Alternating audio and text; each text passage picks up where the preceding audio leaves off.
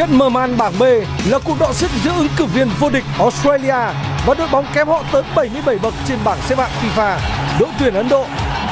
Sân vận động Ahmad Bin Ali sẽ là nơi chứng kiến màn đối đầu không mấy cân sức.